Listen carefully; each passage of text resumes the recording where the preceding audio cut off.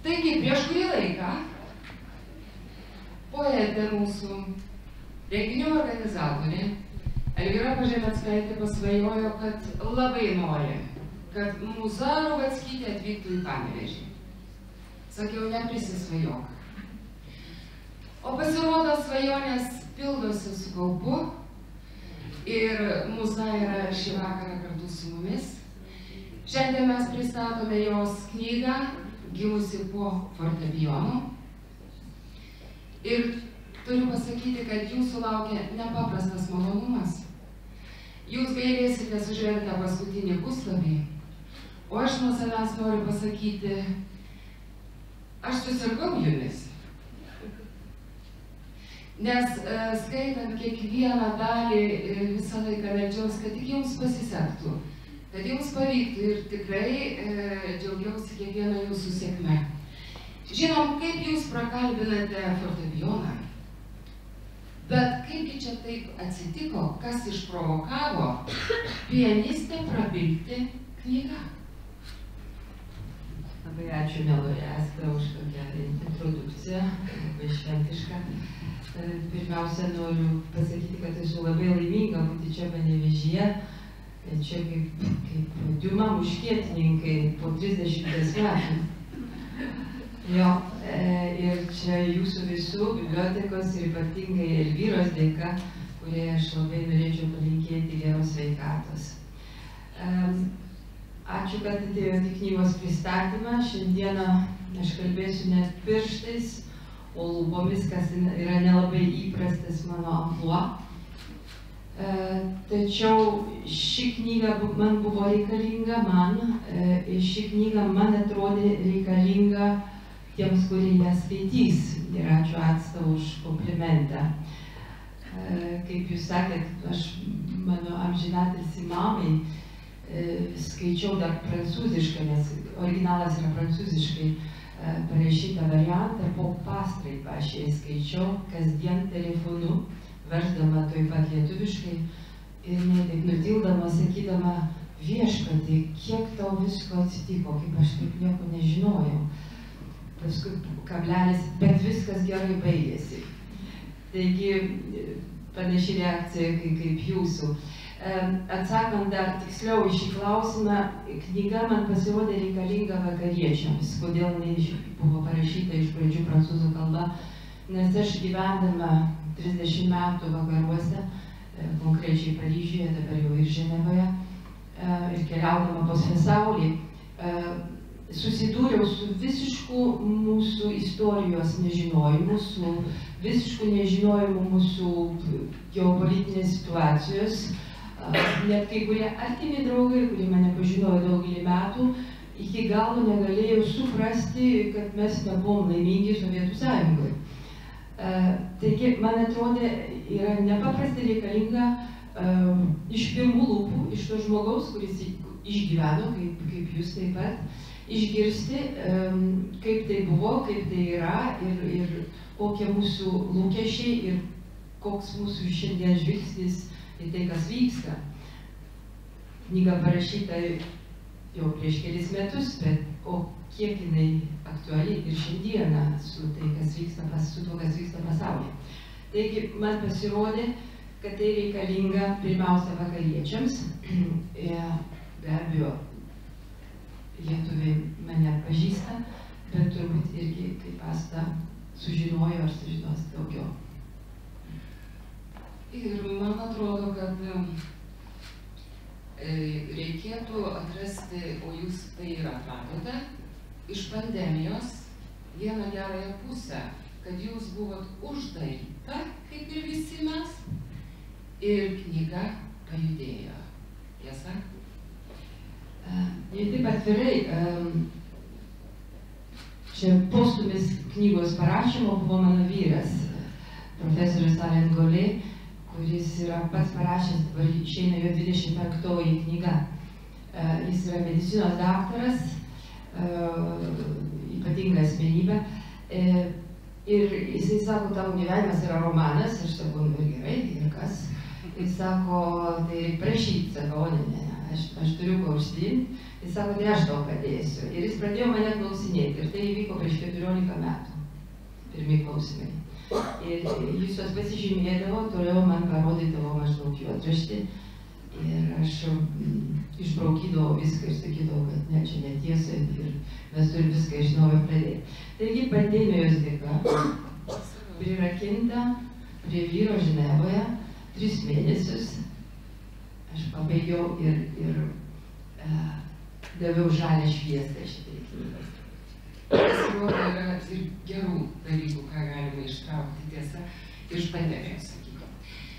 Gimėte Vilniuje ir dar tas laikas, jisai buvo toks, tam Vilniuje, mūsų sostinėje buvo pilkokas.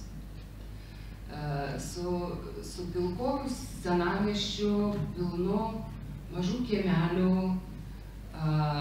rusiai, parėpės, vartai mediniai didžiuliai. Ir štai tokioje vietoje, kur reikėjo šildyti tuos namelius ir malkom, ir, ir anglimis, ten buvo jūsų klasikos sala ir jūsų tuos namelius prižiūrėjo jūsų trys fėjos, aš tai pavadinčiau.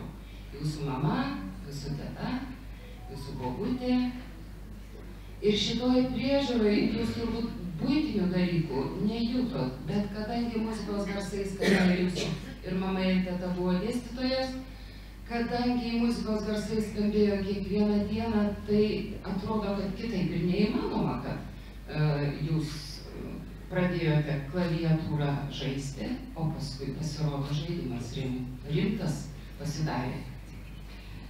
Taip, gimiau aš Kaune, Lietuvių gatvėje, bet praktiškai negyvenau tenais, persikėlė į, į dabartinę Skapo gatvę senamestį ir su mano teta ir su mano močiutė, bobutė, kaip aš ją vadinau. Ir taip ir knygoje ir išvertėm specialiai, nes aš ją taip vadinau. E, e, taip, tai buvo mūsų namai, e, kur mano teta dėstė. E, Čiurlionio mokykloje, bet kadangi buvo negali, nedėstė namuose, kūrenome anglimis, šaltas vanduo, pirtis, tačiau atmosfera buvo nepaprastai meniška, graži, daily, kaip mano šeima niekuomet nepamiršo savo aristokratiškos kilmės. Taip ir tęsiasi, mes kažkur užmerkdavom akis į tą, į tą sovietinę realybę. Ir mm, mokinių tėvų dėka mes buvom labai laimingos visos keturios, nes tėvai būdavo labai dėkingi, namai buvo perpildyti mokinių tėvų muzikos, meilės, meno ir gražios aplinkos, nežiūrint to, to stokos, kurią mes išgyvename. Bet aš negaliu, negaliu nepaklausti vieno ypatingo klausimo. Juk tuo laiku, gerai, vardai.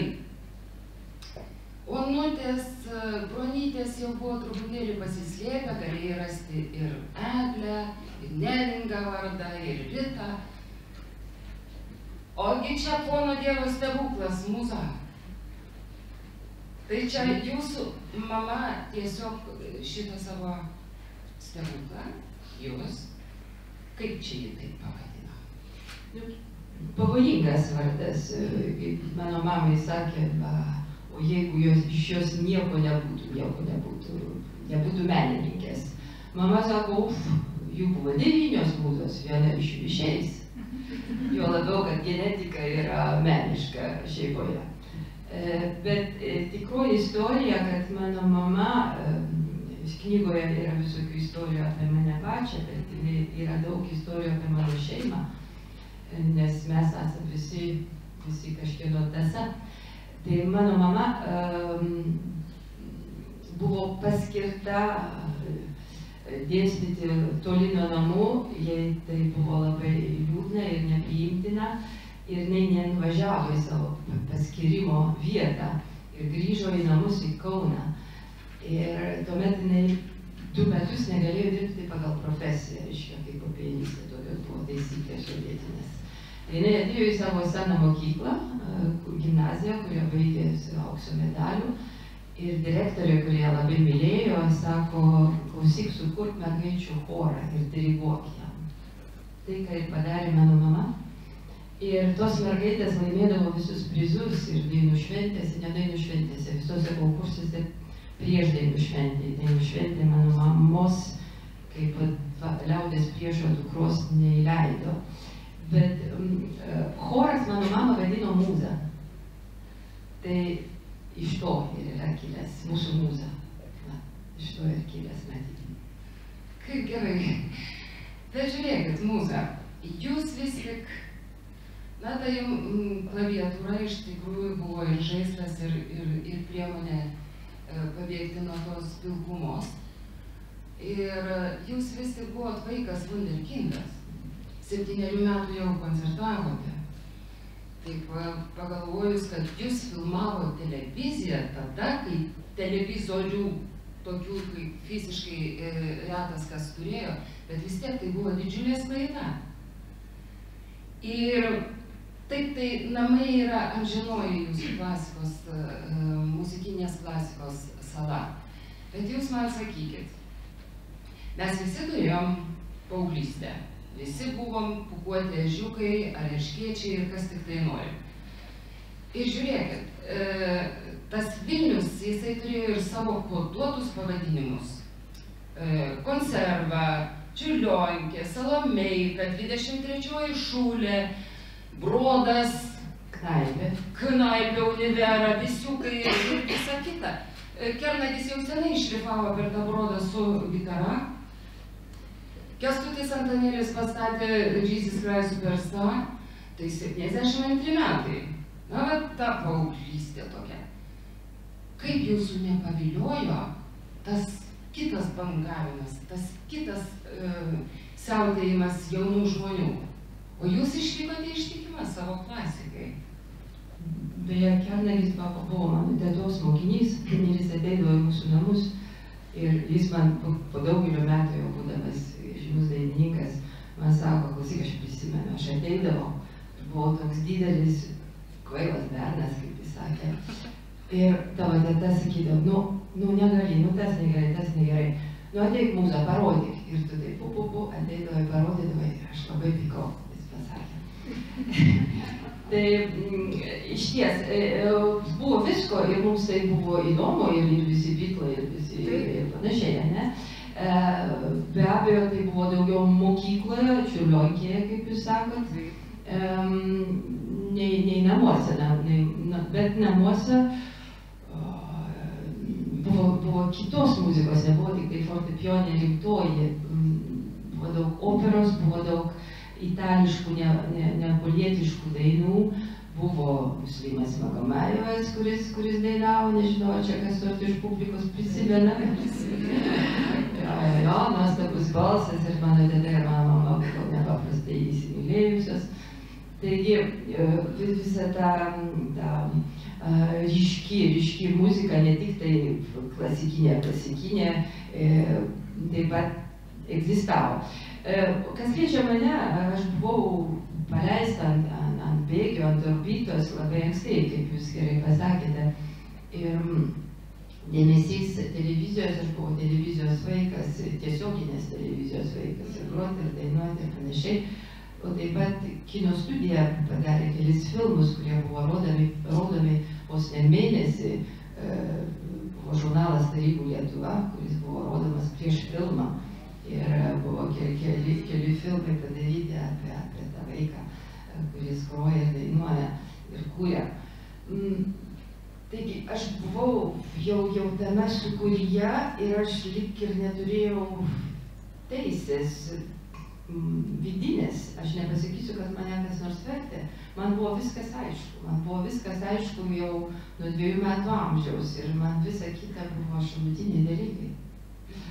Taigi jeigu aš pykau, da, da, da, kaip, kaip jūs sakote, su, su, su spykliais, e, tai buvo, kad man, man neleisdavo mano minimalios tos laisvės, kelios valandos pas draugę, kelios valandos pas draugę ar, ar, ar kokį nors e, baliuką, nesvarbu, ar rytoj yra koncertas. Ir, ja, tai, tai, bet aš turėjau tas, tas geležinės rankas pas save Tai kai be- besišakodavau, mane, mane pasodindavo. Bet, bet vis tiek aš dariau, ką aš noriu ir aš norėjau būti muzikė, norėjau būti koncertuojanti pianistė visame pasaulyje. Ačiū Dievui. A, jūsų namai pilni muzikos. Ir dvi labai skirtingos mokytojos, ir mama, ir tata Irena. E, Jūs vis tiek kažkaip tai išlaviruodavo tarp dviejų mokyklų, tarp dviejų temperamentų. Ir, ir kada buvo pasakyta, kad repertuarui per liesa, o jūs staiga atrandate listo vengriškąją rapsodiją, tai man labai įdomu, kad jūs vis tiek nusitvėrėt ir užsikėpėt, kad vis tiek jūs pagrosite ir vis tiek tai bus. Nes žinant, dabar yra išleista knygų ir visa, listo buvo ypatinga pirštuotė.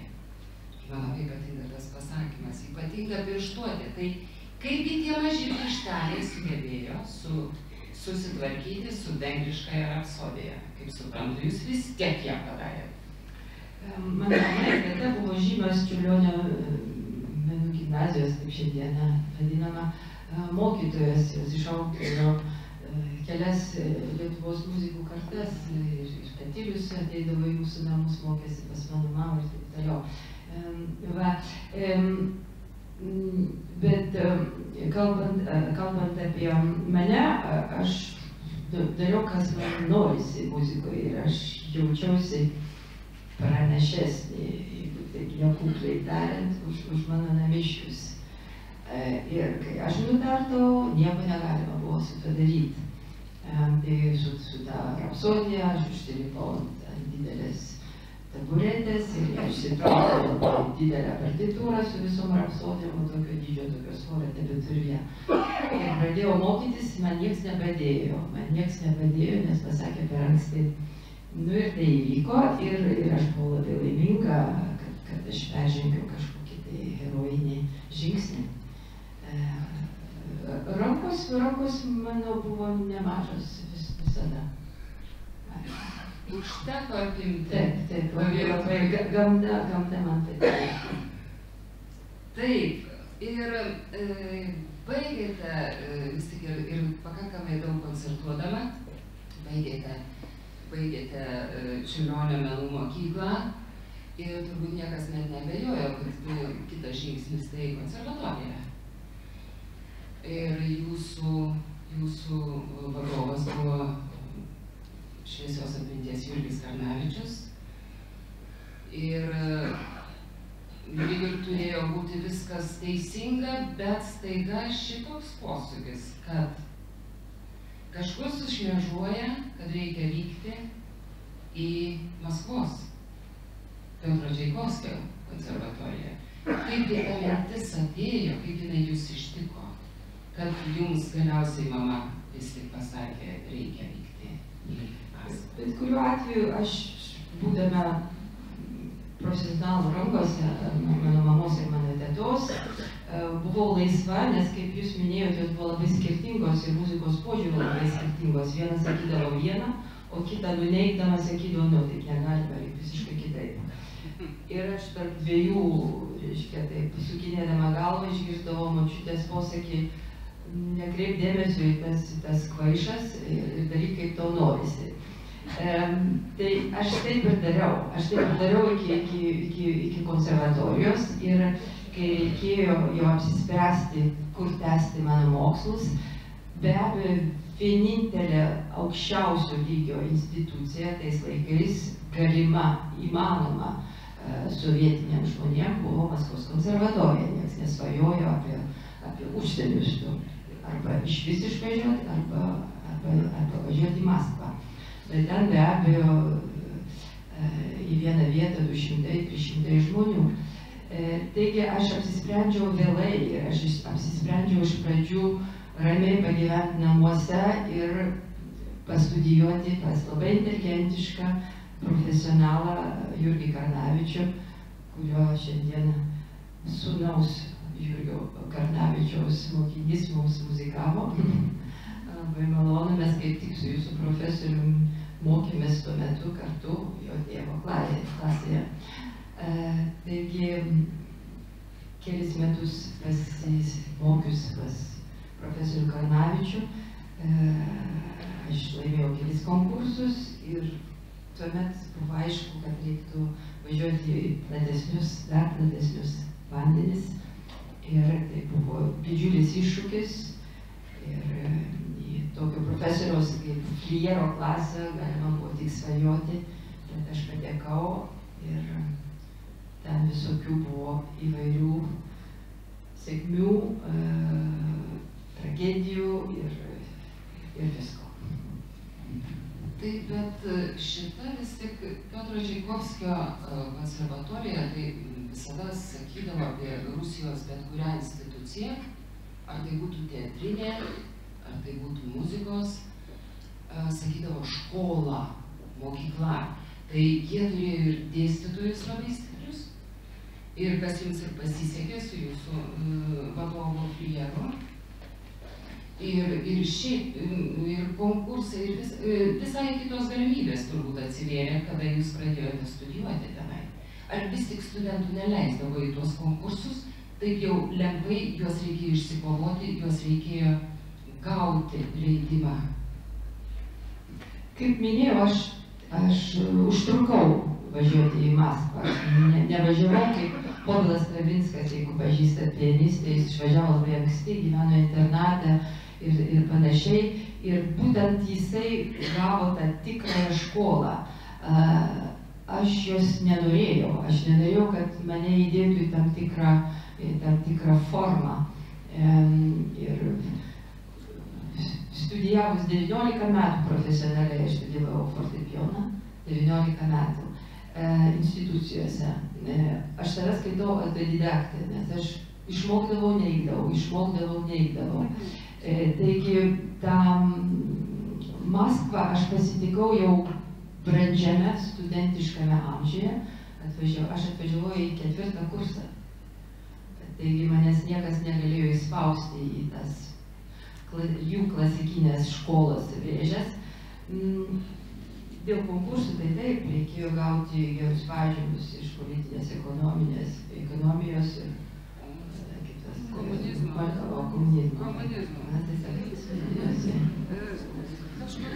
Politička ekonomija į naučnį komunizmą. Na, naučnį, jo, mokslinis komunizmas. Aš paskutinę konservatoriją tarp kitų reikėjo mūsų kursas. Paskutinieji. Bet aš prisimenu tos, tos, tos, tos, tos politologės, kurias mums dėstė. Ai, jis pribaltikė, vis tiek nieko nežino. Bet vis tiek reikėjo gerų pažiūrą, jeigu ne, tai O sakykit, man labai graži ir aišku, ir, ir graudi, ir, ir juokinga situacija su paieškų fortepijono gaudinės jūsų.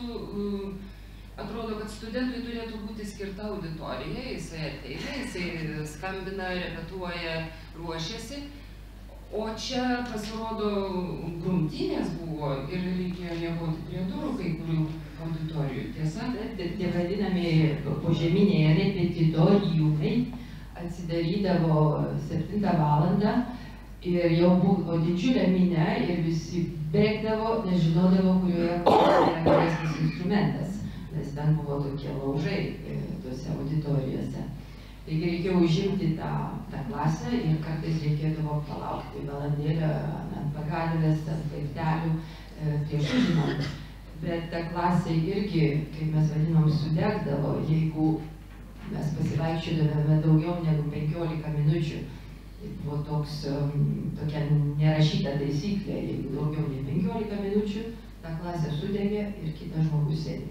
Taigi kova už būvį visame kame, nekalbant apie maistą, irgi, irgi aš nestovėsiu eiliai su žmonėm, kurie atvažiuoja iš Rezanės pripirkti visai, visai, visai, visai e, visam darbui ar visai šeimai maisto savaitai. Taigi visą tai problematiška. Na ir tarp visų tų būtinių, maisto, peštinių, tarp visų šitų problemų, kurios iš nuotolio turbūt atrodo ir juokingos, jūs turėjote atlaikyti, sakyčiau, du kertinius konkursus. Vieną išlošti vykimą į Budapeštą, o kitas konkursas jau tenai. Tai ta išlošimo jums situacija buvo labai sudėtinga. Jūsų vadovas, maestro Flieras, išėjo Anapilin. Ir jūs likot, na, be vadovo. Kokia situacija vaikai? Šiais laikais aš su tokiu džiaugsmu žiūriu į jaunimą, kurie važiuoja vos ne kas mėnesį į tarptautinius konkursus kurie randa sponsoriai, kurie užmoka už kelionę ir visą kitą. Um, sovietiniais laikais reikėjo, reikėjo praeiti visą eilę etapų uh, pagal, pagal instituciją, institucijos etapą, regioninį etapą, tarp visą sąjunginį etapą. Ir kad būtum pasiruošęs taip, kad, kad laimėtum, nes niekas nesiūsdavo tų, kurie nelaimė. Tai buvo, mes visi buvome propagandos įrankis, sovietinio gero mokymo propagandos įrankis. Taigi, pirmasis mano laimėjimas tik atvažiavus į Maskvą buvo visas sąjunginis konkursas, jis taip ir vadinosi, nieko bendro neturintis su Budapešto konkursu ir jo atrankom. Tas konkursas, kur, kur, kur visi, visos sąjungos pianistai dalyvauja, aš, aš manau, kad tai buvo vienas iš sunkiausių ir tebebūtų, jeigu tokia, tokia, toks regionas dalyvautų, nes lygis buvo nepa, ne, nepaprasto aukštumo. Tame konkurse buvo trys premijos, iš kurios pirmą laimėjo garsusis Mikhail Pletniov, aš laimėjau trečią ir mm, e, šis tris premijos. Visai nežinomas žmogus iš Lietuvos. E, taip. Ir mano profesorius Lieras turėjo būti žiūri pirmininku, bet prieš konkursą jie ant kaip čia vadinasi, ant neštuvo išnešė prie, prie infarktiniai pokliai ir e, jis, jis e, būdamas ant tų neštuvų, sakė, prapalė maji ribeta, su tokiu R, tokiu A. E, ir iš ties visi atsibūdo, a, fliorolier, mes, mes prastumsim savo, savo mokinis. Bet nežiūrint to, visą tai pasibaigė puikiai, nes Pletniovas buvo irgi turėjo mokinys, jisai turėjo fantastišką klasę.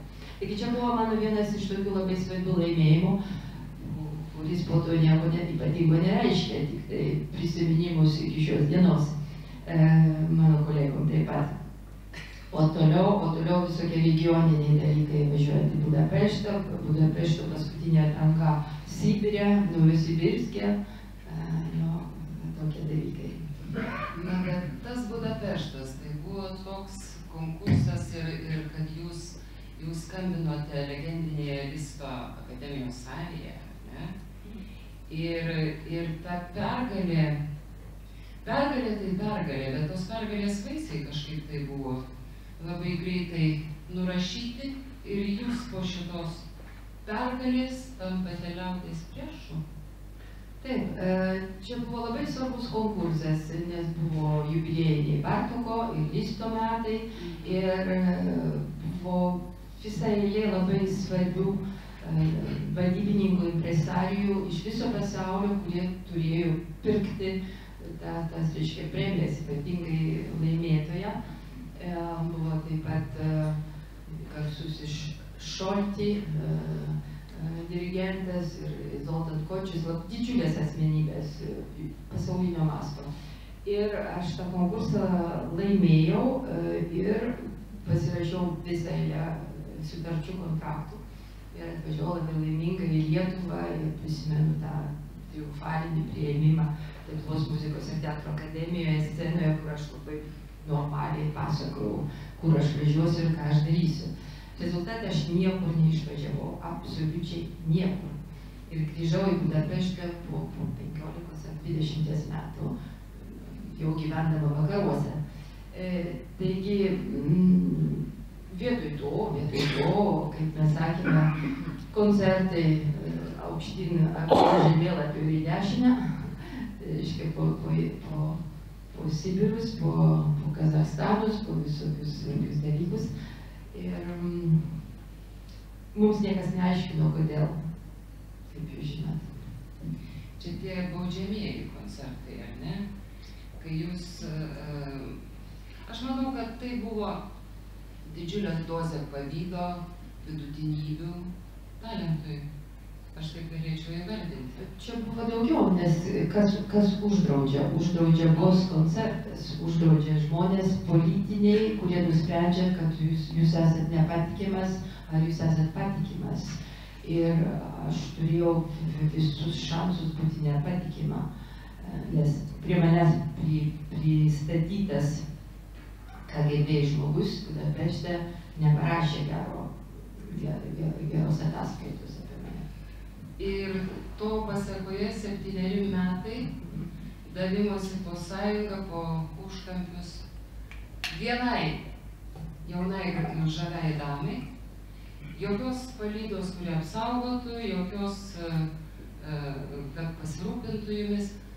Ir žinote, tais laikais tai buvo vadinama nevyjazdnaja, nevyjazdnoji, neišvažiuojamasis toks, na, vertimas jisai toks kreivas. Jūs septynerius metus buvot nevyjazdnaja, čia turiu galvoje užsienį. Maja Brisetskaja 18 metų buvo nevyjazdnaja. Tai jūsų šitą Golgota, aš nežinau, tokiai merginai jaunai, jeigu kas prisimenat, tuos baisius traukinius e, ir į juos įlipa, išlipa visokio kontingento žmonės. Kaip jūs tai praėjot? Jūs, jūs nesutrikot, jūs kažkaip, kažkaip atlaikėt, bet atlaikyti turbūt reikėjo sunkiai. Jūs žinot, aš buvau kupina vilties, aš buvau, aš žinojau, kad, kad taip nepasibaigs. Aš visą gyvenimą aš turėjau tam tikrą žinojimą ir, ir tebe turiu gal naivu, gal idealistiška. Esu, esu nepataisama optimistė ir ten, tuose visuose gastrolėse, šalia gerų salių, kaip Novosibirskė, Omskė, Irkutskė, Tomskė, ar ten Bakų ir panašiai, filharmoninių salių buvo tie baudžiamieji, kur reikėjo važiuoti į gamyklą, ten, ten to stataus pianino, kaip mes vadinam, ar piano pianino, Belarusija, ar ten Maskva, kaip jis vadinosi, sukežęs. Ir ar ten kokiai raudonam kampelėje, pas kareivius. Tai vis, visą tai reikėjo padaryti, bet, bet aš gaudavau savo satisfakciją. Čia kažkiek paprasčiau. Mes jau baigėme. Ne. Čia šiaip telefonas. Gerai. Ir uh, aš rasdavau pozityvumą, nes toje salėje, tarp tų, kuriems buvo visai vienoda, šiaip vyksta, kurie valgė savo sumuštinę, nežinau ką, iš vis kalbėjusi garsiai, tarpusavį, buvo žmonių, kurie buvo hipnotizuoti ir ateidavo su, su, su šlapiom akim man pasakyti, kad jiems tai labai buvo svarbu. Ir tai mane laikė, ir tai mane maitino, ir aš manau, kad tai Tai, tai, tai buvo ir tebėra man labai svarbus dalykas. Žmonės, kurie mane klauso ir ar jiem, ką nors aš atnešiau ar ne. Ar man pasisekė šiandieną. Taigi visą tai praėjau. Tai va, kaip, kaip vanduo nuo, nuo gulbės sparno. Pažinsi dykumą, pažinsi ir oazę. Štai taip. Uh, Na ir ateina tas ypatingas laikas, kurį daugelis mūsų ir prisimenam, tai yra sąjūdis, tai yra sąjūdžio sujudimas mūsų širdyse, mūsų namuose. Mes visi turėjom viltį, mes visi turėjom šviesę ateitį ir tą, tą tikėjimą, kad bus ir bus gerai. Ir jūs taiga gaunate tokį trampliną, pasiūlymą su metų stipendija studijuoti Paryžiui, šitame muškietininkų mieste, bet jūs ten nuvažiuojat su trim telefonų numeriukais, kaip trys riešutėliai, kaleniai. Ir tas laisvės oras, tas laisvės miestas. Nepaisant visų iššūkių. Žinot, paradoksaliai, aš niekuomet nenorėjau išvažiuoti, aš norėjau važinėti, aš norėjau uh, dirbti mano profesiją visame pasaulyje, bet aš niekuomet nenorėjau ir nebenoriu ir ne, tebe nenoriu išvykti iš Lietuvos. Aš tebe turiu tik vieną pasą lietuvišką. Uh, taigi, uh, kai atsirado šitą galimybę metų stažuotai, į Paryžių, aš pirmoje eilėje pasakiau ne. Ir aš grįžau ir pasakiau pas save namuose ir savo draugams ir jie man sako, tu ką išprodėjai? Sakau, sako, ką man ten daryti? Aš jau, aš esu konservatorijos docentė, ką aš ten mokysiuos. Bet pagalvojus per naktį, aš galvoju, palaukit, prancūzų muzika, kaip aš norėčiau pasitobulinti, kaip aš norėčiau atverti akis. Ir aš grįžau pas rektorių tuometinį, e, Vytautą Laurušą ir sakau, gerai. Tai va, tai išvykus į ten e, su vienu lagaminėliu, aš kitaip ir negalvojau, e, studijavau prancūzų muziką pas geriausius meistrus, tame tarpe ir Olivier Mesianas ir, ir daugelis kitų žymių muzikų. Ir laimėjau prancūzų muzikos konkursą po, po pusmečio, e, kuris man atvėrė, iš tiesų atvėrė visą eilę e, veiklos koncertinės. Taigi, grįžus į Lietuvą, aš iš naujo grįždavau ir taip pat tarp dviejų tiltų, tarp dviejų šalių prasidėjo ta, tas gyvenimas. Nu, pradžioje tai pusbadžių, visai buvo. Tikrai. Visai buvo tas laisvas gražusis Paryžius. Žinot, kad, kad pasiekti prancūzų moters formą, reikėjo truputį man numesti savo laiku. Na, žinote ką, bet ir Paryžius tai yra visų, visų menininkų, visų, visų veržimosi tikslas. Ir, ir jūs negalėjote atsistoti nors Konkordo aikštėje ir rėkti aš pianistė, jūs mane išgirskit ir paimkit, nieks nieko neduoda ant padėkliuko. Ir tai yra, ir tai yra, manau, kad ta publika, kuri yra ir, ir išpaikinta, ir, ir reikli, ir jums reikėjo juk kažkokio, kažkokio palaikymo, kas jūs, jums atidarytų tas duris, kad jūs, jūs galėtumėte išsiveršti iš statikos. Nes mm, tiek, kad nu, nu, tu ten būni, tai būni. Bet Bet juk e, pasirodyti reikia, kad išgirstų, kad pamatytų, kad, kad va, tos durys, kad atsivertų. Būdavo laikotarpių, kai, kai nieko nevyko, bet aš niekuomet nenuleidau rankų, aš turėjau omeny savo darbo, savo, savo profesijos. Ir vienas iš mano draugų, e, dailininkų, kuris man yra kaip brolis, gyvenantis Paryžiuje, taip pat kartus dailininkas Igor Bitman, e, aš, aš jam sakau, o kaip tu gyveni, jeigu tu neturi užsakymų, kaip tu, kaip tu gyveni profesiniai. Jis sako, aš dirbu, aš dirbu, lyg turėčiau užsakymus ir aš dirbu kasdien ir mano galvoju tam kosmose aš egzistuoju. Ir tai reiškia, kad apie mane kas nors pagalvos, prie manęs kas nors prieis per, per gandą, per žinią ir, ir viskas įvyks. Tai aš lygiai taip pat galvoju. Aš lygiai taip pat galvoju, jeigu mes einam, jeigu mes tęsiam, tai mes egzistuojam. Dabar ar kas nors pastebi ir kada tai įvyksta, čia kitas klausimas ir, ir kokiom paskatom tai įvyksta. Bet svarbiausia, ta mūsų, mūsų pačių um, misija ir, ir tas pats uh, postumis mūsų pačių veikti vienoje iš sričių. Jūsų tokia gražiai knygoje aprašyta e, tas laikmetis gražus prie vienuolynę. Jūs sąmoningai pasirinkote tokią atokią gamtos prieglaudą ir dvasiai, ir, ir, ir aišku, ir, ir darbui. Nes kaip jūs sakot, jeigu reikia repetuoti, tai reikia turėti dar ir su kuo. Čia irgi buvo viena iš tų priežasčių, nes tai buvo karališkos sąlygos uh, dirbti. Uh, yra tarp centro Prancūzijos centre, tarp Bošo šatovų, visai centre, netoli Limožo, kur yra garsusis porcelianas. Ir tas vienuolynas yra toli nuo visko. Reikia sakyti, cisteronų, kaip reikia sakyti. Cicerono. Ciceronų vienuolynas jo. E, ir viena iš foundation, vienas iš fondų um, turi šitą vienuolyną ir viena iš jų dalių, uh, veiklos dalių yra pagalba uh, pagyvenusiams žmonėms, o kita dalis pagalba artistams. Ir aš atvykau į vieną iš jų organizuotą festivalį, ten vienuolinę, ir pajutau nepaprastą aurą.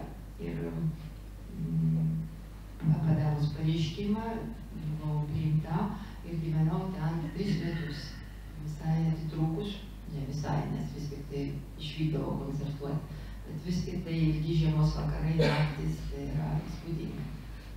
Bet jau jūs buvote pastebėta, jau jūs buvote ir turėjote impresarijų, kažkaip tai jau, jau buvo toks uh, atsidarimas tų durelių kažkokiu tai, kad jūs buvot pastebėta, jūs nebuvot šiaip savo pasislėpusi uh, miškuose vienuolinė dirbanti mergina. Pažiūrėjus taip atgal, aš galvoju, kad aš iš tų, kurie neturėjo tų, tokių mentorių, kurie stumė.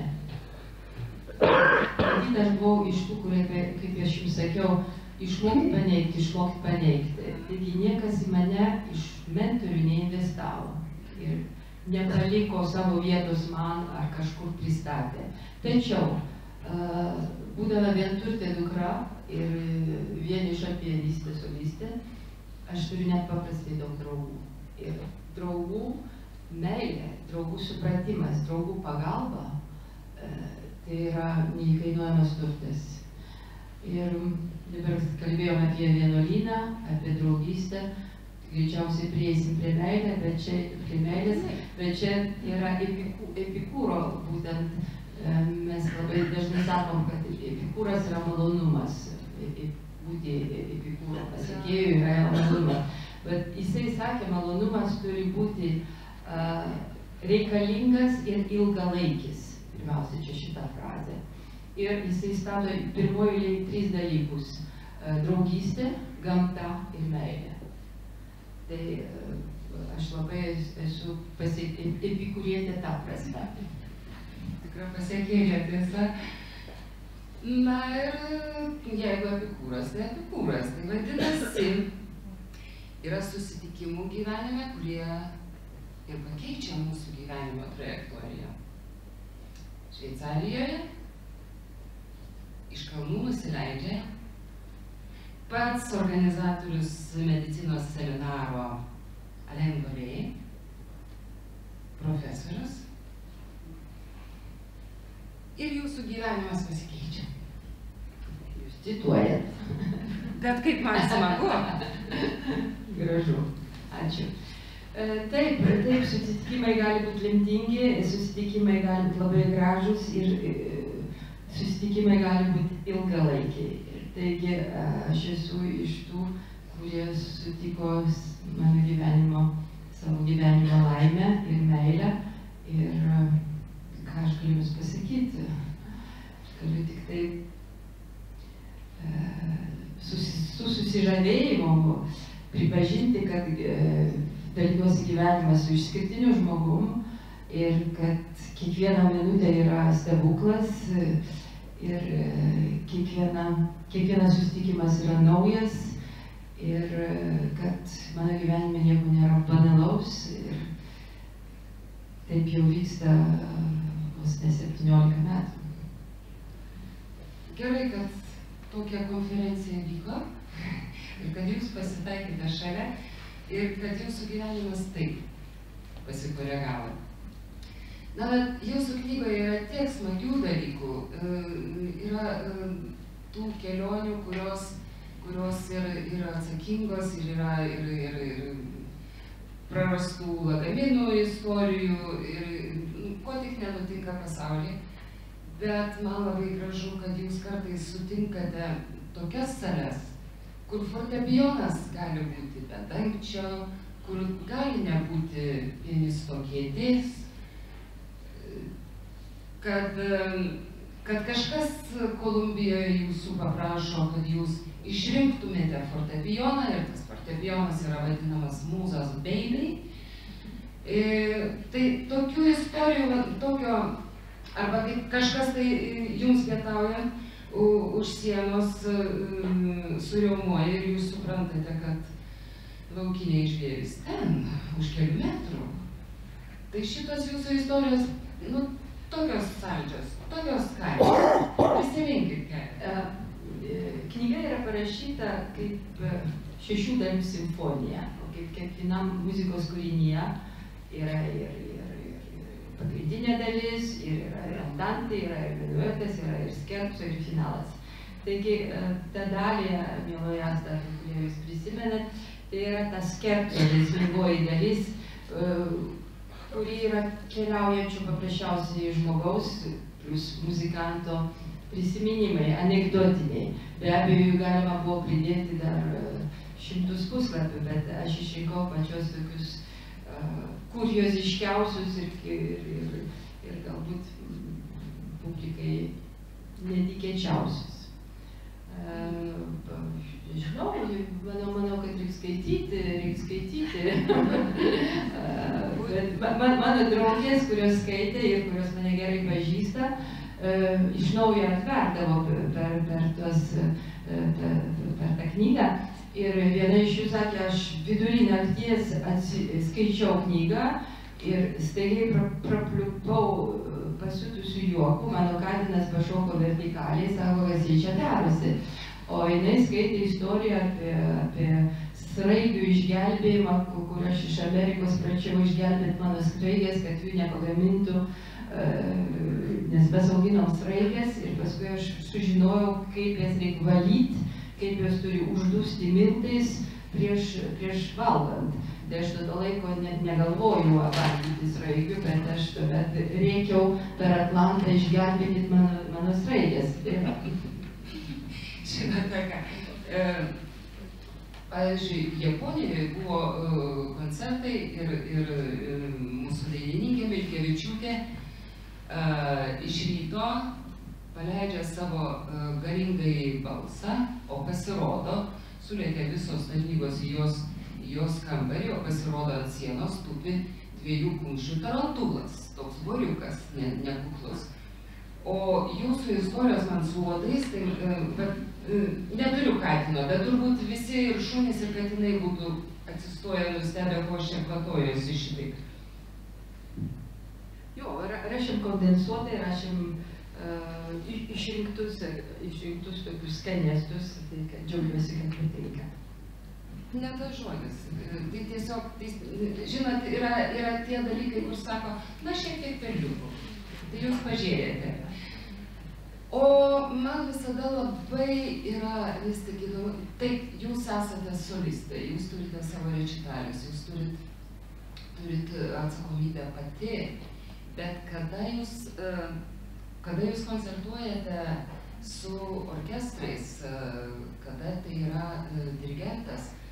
Ir stebėdama jūsų koncertus, kurie dabar visą mėnesį taip smagino kiekvieną vakarą, E, pirmiausia, kad aš nespėdavau su jūsų rankomis, e, bet aš stebėdavau, kaipgi jūs tiesiog virtualiai e, sugebate kalbėtis su dirigentu. Dirigentas tai yra na, ta figūra, kuri valdo visą e, tos dienos, reiškia, koncerto greičius, nuotaikas ir nuo jo tai, tai labai priklauso. Ir jūsų vat, santykiai su dirigentais, juk e, visokių koncertų yra, visokių būna ir gali nutikti visokių istorijų, kurios paskui, na, yra ir atgulę, aišku, į knygą, bet e, su dirigentu turi būti pokalbis turbūt labai. Taip, kaip, kaip kiekvienoje komunikacijoje reikalinga suprasti vienas kitą. Jo lab, kad e, kūrinys, kurį aš ruošiu mėnesiai, metai, daugelis, daugelį metų dirigentas kartais groja su kitais e, atlikėjais arba iš vis nėra jo grojęs ir turi savo viziją. Taigi e, man labai svarbu susitikti su dirigentu su juo padirbėti ir aš visuomet tai reikalauju ir visuomet tai gaunu. Bet nežiūrint to, yra tų dirigentų, kurių tenka atsisakyti. Net repeticijų bėgėje aš turiu kelias tokias istorijas, visai dramatiškas, bet tiesą sakant, iš mano viso arsenalo koncertų, kuriuos aš grojau su orkestru, repertuaru ir dirigentus, kuriais teko groti, aš turiu maksimum ant vienos rankos pirštų su tais, kuriais aš tebe noriu ir, ir, ir tebe groju. Ir tebe iš naujo susitinku su džiaugsmu. Tai tuomet, kaip e, jūsų istorijoje su e, šituo jubiliejiniu e, Kšištofo Bendereckio koncertu, koks jums buvo iššūkis ir visa tai yra aprašyta knygoje, bet man vis tik labai gražus atsiliepimas jūsų, jūsų išsikviesto dirigento Stefano Lano ir kai jisai jums pasako, mums pavyks. Ja. Tai turbūt buvo dušiai e, džiaugsmas neišpasakytas, ar ne? Jo, reikėjo, reikėjo atsisakyti dirigento ir rytojaus dieną groti koncertą su traukinį važiuojančiu į, į pagalbą kitų dirigentų. E, taigi per generalinę rytinę repeticiją vienintelė normaliai yra keturios repeticijos su tuo naujų kitų dirigentų. E, sėdėjo Kšištof Penderecki, kompozitorius su žmona Varšuvoje didžioje salėje, jo jubiliejus 85 metai garsusis e, atgimimo koncertas, kurį, kurį aš groju. Ir me, mes padirigavom ir jisai sako, taip, galima, taip, puiku. Ir rezultatai jisai buvo įrašytas ir transliuojamas per Europinius radijus. Ir, žodžiu, aš esu laimingai pasibaigė, bet kiek reikėjo e, savitvardos, kiek reikėjo kiek tam reikėjo individualybės mudviejų ir orkestro ir visų mūsų. Bet patirtis tokia nesinorėtų pakartoti, tiesa? O ne, nes čia labai gaila, labai gaila. Turim repeticijas, kurios nevyksta, nevyksta, ta prasme, meninė prasme. Repetuojam dvi valandas ir nieko nepadarom. Ir orkestras tai žino, orkestras net paleidžia šunį tam, kad jisai paimtų už, už kojos dirigentą ir išsivestų. Kam, kam aš dirbau visus metus, kam aš kūriau, kam aš svajojau. Tai čia yra labai liūdna. Norisi visą naktį verkti. Bet išėjo geram, tiesa. O žinote ką, e, labai sujaudino toks dalykas, aš visada galvoju, kad jūsų rankos turi būti apdraustos kad jūsų rankos yra ypatingas instrumentas instrumente ir, ir kada taip staiga ėmė ir nutiko uh, bėda pirštelis tarp durų ir kaip gali sugriūti žmogaus gyvenimas. Ir, ir uh, 17 koncertų uh, atšaukti tai yra, tai yra daug. Uh, vieną atšaukti yra jau rūpestis o 17 matyt labai jau lengva. Ir, ir jūsų šitoks pagreitinti nieko negali, privalai išsigydyti, privalai praeiti reabilitaciją ir tik tai tuomet iš lėto palengva grįžti į savo uh, tiesioginius darbus. Mhm. Taip, tai, tai atsitinka ir sportininkų gyvenimuose, ir, ir muzikų, instrumentalistų gyvenimuose, taip kad visa tai ga, gali įvykti, svarbu kaip tai pasibaigia, kaip sakė mano mamutė. Iš tų 17 nukritusių koncertų 15 e, sugrįžo vėlesniam datom ir visi viską suprato. E, tai bet aš niekuomet nepaleidau ne, ne, vilties, nors be abejo sunkių akimirkų būta. E, turėjau nuostabų palaikymą mano artimo žmogaus ir, ir kitų aplinkinių. E, taigi tai gali įvykti, bet e, kas liečia draudimą, jūs kalbate apie rankas, taip, aš į virtuvę nepeinu be pirštinių guminę. Nes tai man įdeda į galvą, kad mano rankos turi būti kitaip manipuliuojamos. E, bet šiaip, žiūrėkit, jeigu, jeigu su koja kas nors, mes pianistai žinom, kad be pedalo mes irgi negalim, o jeigu su nugara kas, o jeigu su kaklu kas, o jeigu su ausim kas, o jeigu su akim kas. Taip kad to, tos rankos yra labai labai svarbios, e, žymiai svarbesnės negu, negu kitą profesiją dirbantiems žmonėms, bet visas kūnas mums yra labai svarbus. Ir mūsų mėloji, Mm, vis tiek tai yra, yra koncertai, yra pasirinkimas, yra, kokie yra jūsų ritualai prieš sceną, kokie jūsų ritualai ir po koncerto. Bet prieš sceną tai e, turbūt yra e, vis tiek kažkokie tai jau nusistovėję, ką jūs žinot, kas jums padeda, kas jūs sudėlioja, sukoncentruoja. Ir be abejo, išeiti iš koncerto, manau, irgi reikia laiko. Tai kokie jūsų ritualai, jūs tiesiog laikotės ir žinot, kad tai jūsų pagalba. Aš manau, kad mes užkulisiuose galim su jumis pasidalinti ritualais. Scenos žmonės, žmonės turėtų turėti tą rutiną, kuri nuramina, kuri, kuri daro duoda tam tikrą stabilumą. Nes vis tiek scena yra nežinia. Jūs kaip ir aš, mes uh, esame vieni, nuogi ir, ir be jokios pagalbos. Publika yra egzaminas kiekvieną dieną. Absoliučiai. Taigi e, scena yra specifinis dalykas, kur, kuriam reikia pasiruošti, mes negalime kaip su šlepetėm ateiti į sceną. Ir nieko nuostabaus nėra, nes vienas solistas turi užpildyti ir um, išlaikyti didžiulės salės dėmesį. Um, aš tik grįžau iš San Juan, iš Puerto Rico, prieš penkias dienas. Uh, ir grojau su orkestru, uh, tūkstančio vietų salė ir nepaprastai buvo gerai. Ir, ir man, ir orkestrui, ir dirigentui, ir publikai.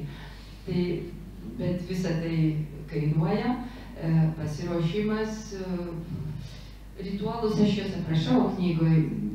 Yra ir maistas, yra ir kvėpavimas, yra ir miegas, yra ir e, dažnai viešbutis, e, kur, kur bebūčiau. Ir tai tokių dalykų yra. O iš koncertų, po koncertų, tai e, jų ritualų nėra, tik tiek, kad labai sudėtinga išeiti. Kalba yra pilna garsų, pilna muzikinės logikos, išgyventų dalykų, ypatingai jeigu jie yra stiprus jeigu tai stipriai išgyventa tą, tą vakarą, tą valandą. Tai labai sudėtinga išeiti ir mes irgi nenorim iš to išeiti. Tai vakarai su draugais, juokai, atsipalaidavimas, bet su miegu nelabai gerai. Naktį dar kartą koncertas. Taip, uh, ir žinot, kas dar, aš visada galvoju, kad jūsų nepaprastai gražus yra rūbai koncertiniai, kad jūs uh, visada, na, tiesiog jūs traukiate akį ir uh, jūs sakykit, jūs juk viena koncertuojate. Ar jūs turite savo dailininką, ar jūs turite savo kažkokį tai žmogų, kuris jumis rūpintųsi, nes vis tik vienam visus dalykus susidėlioti, susirušiuoti, e, norisi, kad kas nors padėtų. Ir tuo labiau, kad, na, jūs turite reprezentuoti save. Šiandieną aš turiu dizainerių, bet, bet aš pati juos pasirenku. Aš nenorėčiau turėti ką nors, kas nuspręstų mano įvaizdį. Ne? Įvairiais gyvenimo etapais buvo jų skirtingų, mano klasės draugė Zita Kustienė, dizainerė, vieną dieną atėjus į koncertą, sako, nu tu grok, aš tave rengsiu jau, tuo netaip renkies kaip reikia. Tai čia buvo labai labai seniai.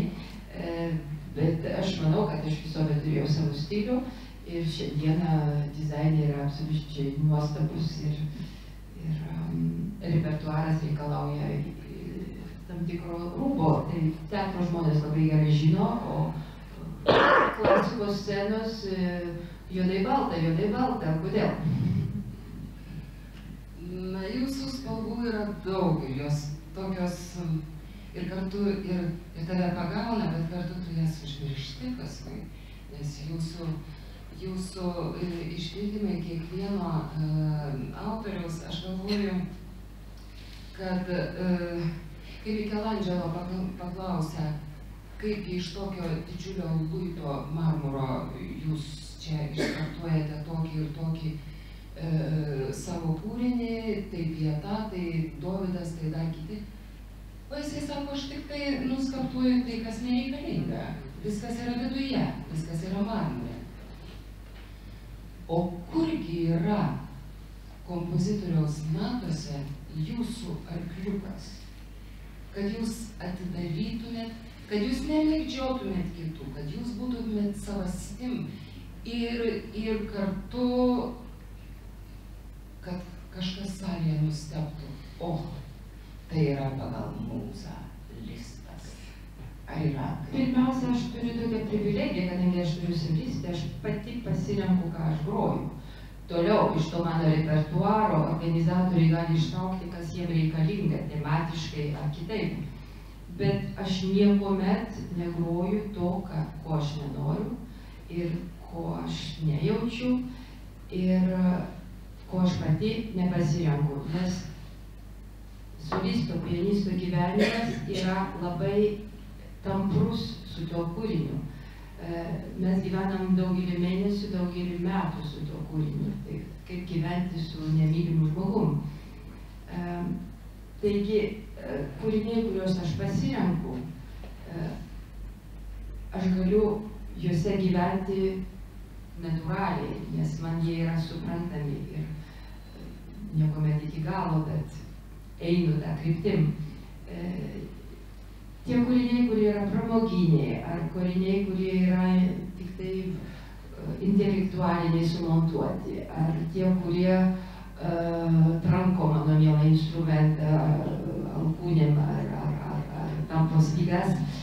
Visą tai uh, aš pripažįstu, tai egzistuoja, tai patinka, kam ar kitam, bet tai nėra mano. Taigi aš jau renkuosi kūrinius emocionalius, net svarbu kokios epochos, kurie, e, kurie pasakytų daug ir man, ir kitiems, e, kurie mus praturtintų, e, kurie mums palengvintų mūsų, mūsų sunkius momentus, turiningus dalykus. Ir aš visada galvoju, kad e, jūsų yra tiek daug labdaros, jūs vedate masterclass, kada yra meistriškumo kursai, jūs turite koncertus Lietuvoje e, ir neveltui jūs esate apdovanota uh, už nuopelnus Lietuvai ir komandoro didįjį kryžių gavusi.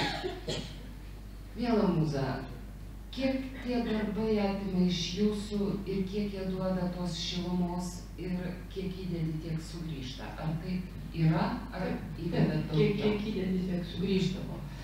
Jeigu netoj, aš nemėgstu formulės, tu man aš tau, bet duodant kaip, kaip su, su tuo darbu ir tuo kosmosu, kur žmonės apie tave galvoja. Jeigu egzistuoja, tai, tai jis pirmiausia pat, pati save praturtini. E, taigi nuo pat pradžių mano gyvenimo Paryžiuje mano žvilgsniai visuomet buvo į Lietuvą ir ką galima padaryti Lietuvai, ką galima padaryti uh, svetur ir pačioje Lietuvoje. Ir taip tebesitėse. Šitaip aš jaučiuosi laimingai, šitaip aš jaučiuosi uh, reikalinga savo ir, manau, kitiems. Taigi yra daug veiklos. Dabar šiuo metu mes, mes ruošiame uh, 2024 metais Lietuvos kultūrinį sezoną Prancūzijoje. Jisai vyks nuo 12 rugsėjo, nuo 12 rugsėjo 24 metų iki 24, 12 gruodžio. E, taigi aš pasitelkiau visus savo ryšius ir vis, visą savo pažintis ir e, mes bendrom jėgom su, su, su Virginė Vitkienė, sezono komisarė ir, ir kitais dalyviais bandome padaryti absoliučiai fantastišką sezoną e, Prancūziją. E, vis, visa tai yra tie dalykai, už kuriuos aš negaunu atlyginimo, bet tai yra e, truputį atėjo iš šeimos, nes mano šeimoje buvo labai daug mecenatų ir mano senelis orkestrą savo mėgėjišką turėjo, kur patraukdavo vaikus į mokyklėlės ir, ir daug ką. Taigi tai, tai yra edukaciniai dalykai manyje ir um, tai duoda impulsą daryti, džiaugtis ir, ir gauti atgal uh, energijos pripažinimo uh, satisfakcijos prasme. Tai jūsų darbai, darbeliai ir visi planai yra keliems metams taip jau su, suplanuota, sudėliota. Šie metai jau vis viskas. Tai šie metai, aišku, 23-ieji kviečiu jūs visus į 8-ąjį Vilniaus fortepijono festivalį, kuris vyksta daug aštuntasis, bet kas du metus mes 2009 metais jį sukūrėme kartu su nacionalinė filharmonija, jeigu pasitektų atvykti, būčiau labai laiminga jūs visus pamatyti. Tačiau tokie darbai, kur jau yra padaryti. Kvietimas priimtas. Mūza vėluoji, jūs vis pasakote, tai ten, tai ten, tai vis tiek tie, tie skraidimai, tie buvimai ir, ir, ir koncertai, ir viskas gerai, čia jūsų gyvenimas jis kitoks ir negali būti, jeigu jisai sulėtėtų, jums būtų liūdna. Bet kurgi yra mūzos iš tikrųjų namai, ar Vilniui, ar Paryžiui, ar Šveicarijoje? Kas jūsų yra šviesioji pusė, kaip jūs atsipalaiduojate, kaip jūs ir kurioj vietoj jūsų šilčiausias toks? Ah, būna. Šiaučiuosi namie, kai aš esu su mylimu žmogum, nesvarbu kur. Čia buvo mūsų formulė nuo pat mūsų pradžios, bendravimo pradžios. Nežiūrint to, vakar aš ėjau į mano namus Vilniuje ir iš ties pasijaučiau pas save. Jūs galite pasakyti, kad, kad taip yra ir kitose namuose. Aš mano namai yra visi panašus. E, ir Ženevos, ir Paryžiaus, ir Vilniaus. Visuomet yra truputis gamtos. E, Paryžiuje yra rožių labai daug, rožių terasa. E, Ženevoje kalnai prieš akis ir orchidėjos. Vilniuje taip pat rūtų darželis. Ir visi turi tą ko kombinacija tarp šiuolaikinės atmosferos ir senovinės. Ne, ne vienur nėra tų, tų pačių nei daiktų, nei baldų, nei, nei paveikslų, bet jie yra kažko panašiai. Jeigu juos visus sudėti kur nors uh, į kokią nors vietą, būtų labai, labai gra, graži pilis. Bet trys tri namai, trys namai, trys būtai yra labai kompaktiški. Uh, patogus, bet visiškai nedideli ir to mums pakanka. Jeigu yra fortepijonas, tai ir namai. Visur karaliauja fortepijonas ir po fortepijonų mes neliekam. po fortepijonų mūza gimė. Mėlėjai, aš jums labai linkiu įsigyti šitų knygų, jūs tikrai turėsite didžiulį malonumą. Kaip matote, bendrauti yra šilta, gera ir jauku. Mūza mieloji, aš jums linkiu, kad jūs neturėtumėte limito savo laimiai, kad jums nebūtų limito jūsų energijai, jūsų žavesiui ir kad nebūtų limito jūsų sėkmiai. Thank you.